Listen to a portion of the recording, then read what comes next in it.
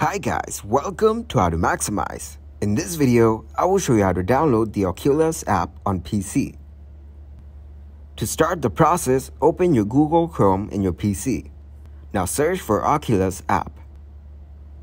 Scroll down and click on Install the Oculus app on your PC. Now scroll down and click on App Download.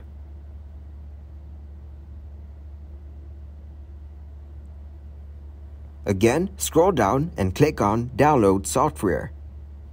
Now click to open the downloaded file.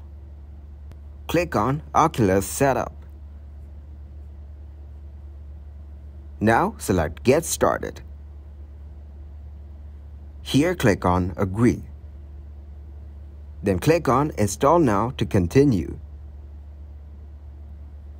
As you can see, the app is now downloading. You have to wait for it to download. Soon, the app will be installed on your computer. Thanks for watching and please leave a like, subscribe and share.